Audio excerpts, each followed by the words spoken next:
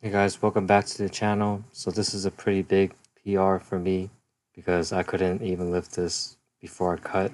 So this is the only lift so far that I'm, I'm actually able to lift more than like just a raw weight itself. Forget the body weight ratios. So I tried 165 on the 5th of February and you can see I got stuck on the sticking point. I feel like I could have got it with just a little bit more work. So I attempted it about two weeks later today. I uh, recorded a warm up set. Um, I've been asked to put more warm up sets, but I normally don't do that because I want to listen to my music. So, but yeah. So 150. Very easy. I knew I was going to get that. And here comes the main lift 165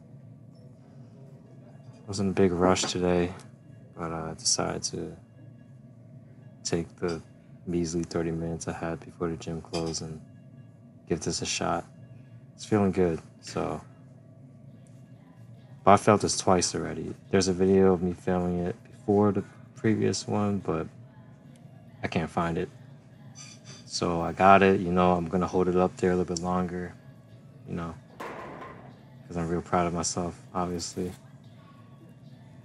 but yeah, so that was a big PR for me. Uh, 170 is next. I feel like, you know, once I broke that barrier, 165, you know, psychologically, I feel a lot better now. So uh, hopefully I can get 170 pretty soon. Uh, don't forget to like and subscribe.